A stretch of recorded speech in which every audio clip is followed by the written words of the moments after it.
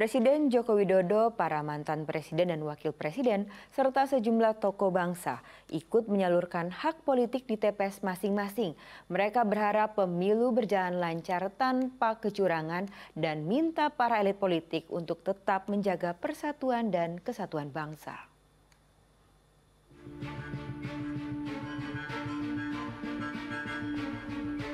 Presiden Joko Widodo didampingi Iriana Joko Widodo menyalurkan hak pilih di TPS 10 di Gedung Lembaga Administrasi Negara Gambir, Jakarta.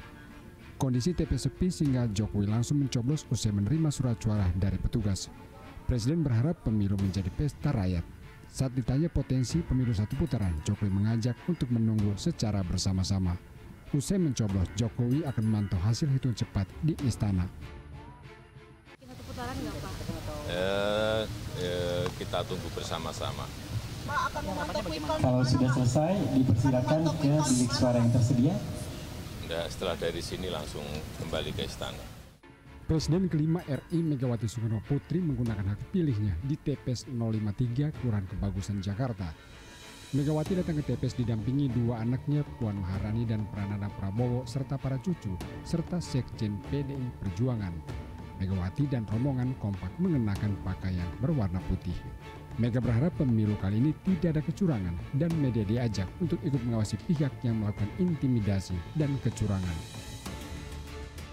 Saya sangat berharap bahwa pemilu pun yang sekarang ini tidak ada lagi kecurangan.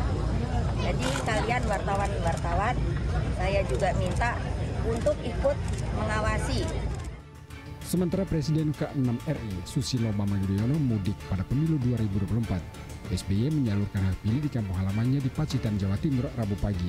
SBY didampingi putra bungsunya Edi Baskoro Yudhoyono dan menantu mencoblos di TPS 16 di lingkungan Ngampil, Kelurahan Peloso, Pacitan.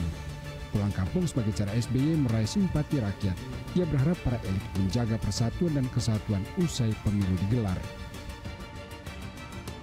Saya yakin bahwa para elit, para pasangan capres-cawapres, partai-partai politik akan bisa uh, tetap menjaga uh, agar di satu sisi demokrasi tegak, pemilu berlangsung secara jujur dan adil, tapi juga secara damai.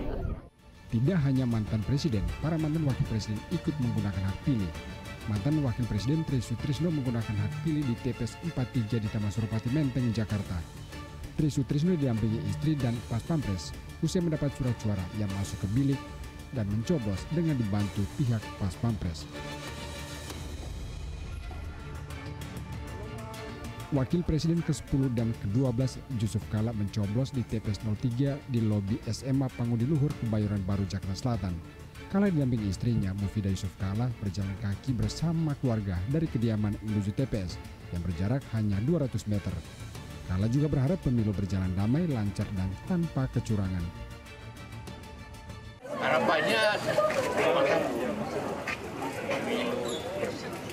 harus seluruh Indonesia.